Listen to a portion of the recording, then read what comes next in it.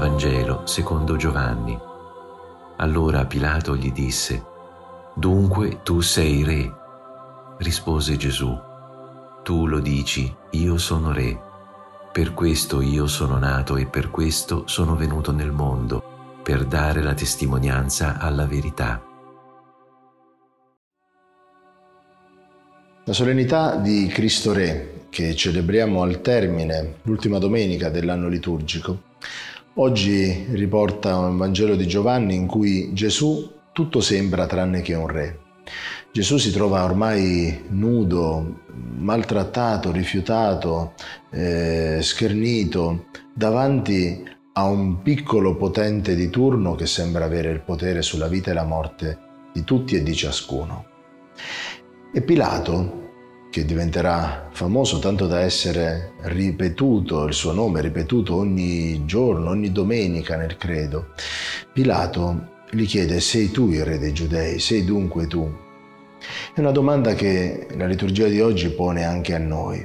Davvero riconosciamo nel Cristo crocifisso, in quel Cristo rifiutato, malmenato, che non ha successo, che non è osannato dalle folle come qualche giorno prima, davvero riconosciamo in lui un re. Noi non conosciamo più tanti re nel mondo, però il nostro concetto di regalità ha molto a che fare con il potere, ha molto a che fare con il sopruso.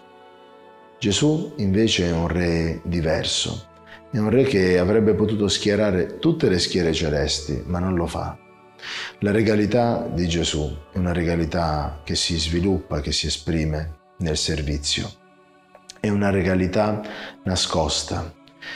Regnare e servire, servire e regnare, dice un detto molto citato negli ultimi anni. Siamo noi pronti quindi a, ad assumere la regalità del servizio, ad assumere quella stessa regalità di Gesù che potrebbe portarci a essere esclusi, ad essere abbandonati, a essere rifiutati, a essere crocifissi per amore. Chiediamo al Signore questa grazia, la grazia di essere re come lo è stato Lui, la grazia di vivere l'amore crocifisso che è l'amore del Re dei Cieli.